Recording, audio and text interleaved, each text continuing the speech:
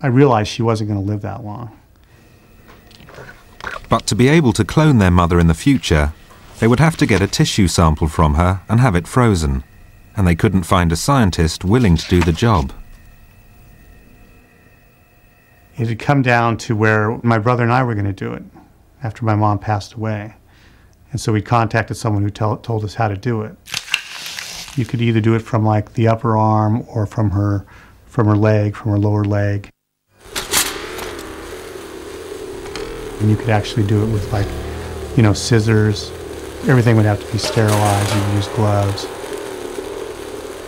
Fortunately, they didn't have to, and a doctor agreed to perform the vital operation properly. I just went in uh, just my just by myself with a doctor, and uh, we actually had six vials. Then he took some some tissue samples, you know, little, you know, these cut them up and put them in the samples and then sealed them. We actually then, the next day, we FedExed them to this laboratory. Now, six pieces of Al's mother are frozen in a vat somewhere in America, waiting for the era of human cloning to begin. But until recently, many thought that era would never come.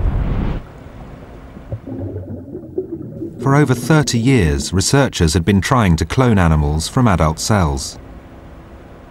It had never worked. By the 1980s, many leading scientists were saying it was impossible. If you asked some geneticist 25 years ago whether we would do, be doing the things that we're doing today, even whether we would know the sequence of the entire human genome, they would have said, no way that's going to happen in that period of time.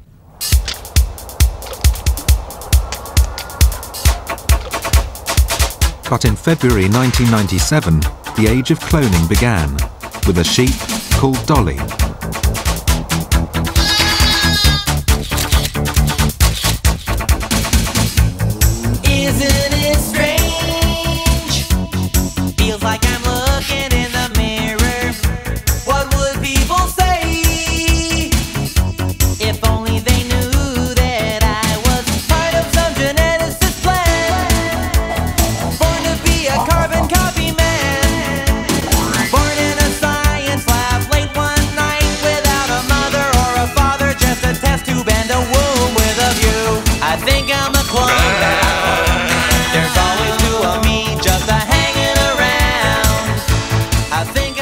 So far, cloning has been successful in sheep, cattle, pigs, goats and mice. But the scientists doing it were never aiming to make human babies. Instead, they see cloning as a new kind of farming, a way to create animals genetically engineered for our benefit.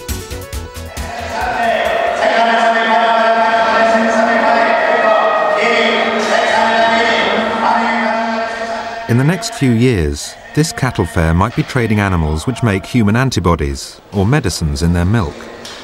This will be possible because of cloning. Genetically engineer one animal and you'll be able to clone a whole herd.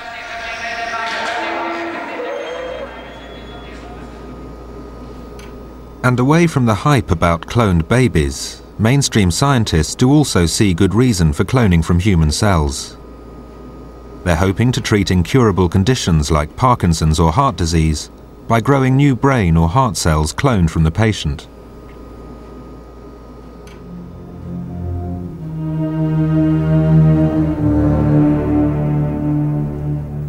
But behind all the optimism lies a stark reality.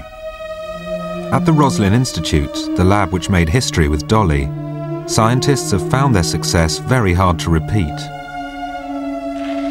For every hundred cells injected into eggs, typically only two or three clones will be born alive.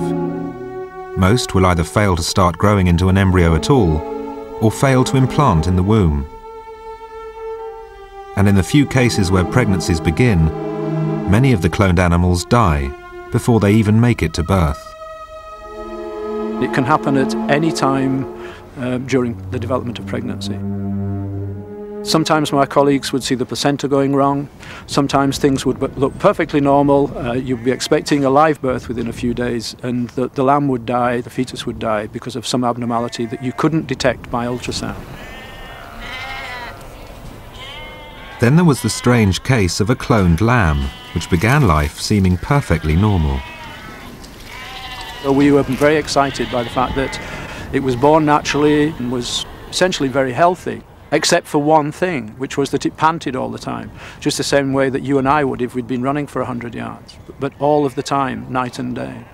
And obviously, my veterinary colleagues took advice from other vets and from the, the Children's Hospital and tried any of the treatments that were uh, recommended, but unfortunately, none of them were able to correct the condition.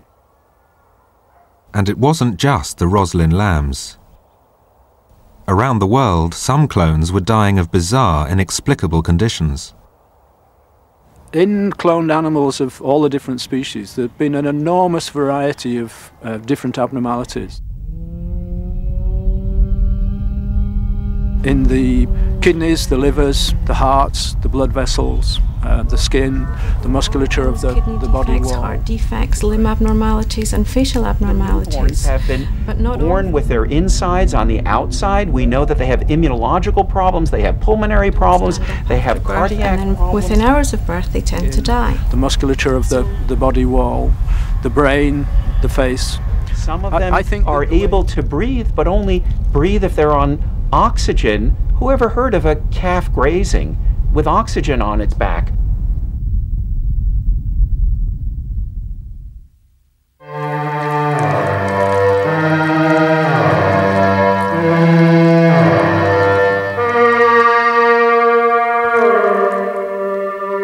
Scientists had to get to the bottom of the mysterious deaths. They took the organs from clones which had died and prepared tissue samples. Pathologist Susan Rhind was one of the first to examine samples from dead clones under the microscope. What she has found is shocking.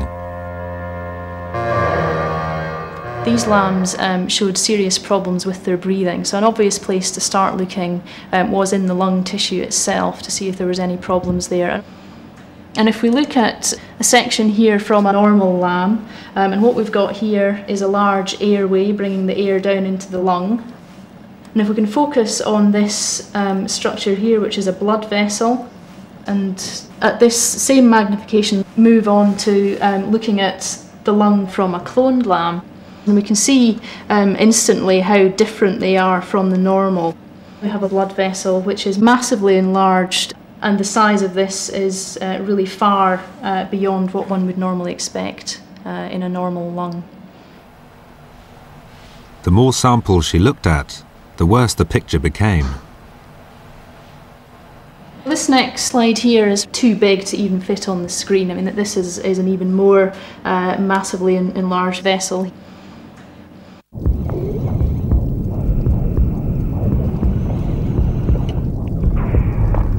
The lamb's hearts couldn't cope with the task of trying to push blood round gigantic vessels 20 times bigger than they should be. These clones had no chance. It's not possible to pick up these abnormalities by ultrasound and carry out an For the Roslin Institute's science director, Harry Griffin, the fate of clones like these should sound a warning to anyone who wants to clone a human. That this animal was suffering from a major cardiovascular problem that was untreatable. We put this animal down because we didn't want it to suffer any longer. Now, if any of you are tempted with the idea of cloning a human being, and I would ask Dr. Zavos this question, given that sort of defect, what would he do with it? All those experiments that is done in animals today are obviously done on a hit and miss type basis. But Dr. Zavos insists that long experience of making human babies makes him a safer pair of hands. Dr. Zavos has been producing children for the last 25 years, and not one single baby, abnormal baby, was born ever, and we don't intend to have one single child ever be born from such an effort, ever. Lambs are lambs, humans are humans. Dr. Griffin has to realize what the difference is, and that's what the difference is. Thank you. The difference in this case, of course, is that uh, in the UK and elsewhere we're allowed to experiment on lambs, we're not allowed to experiment on human beings.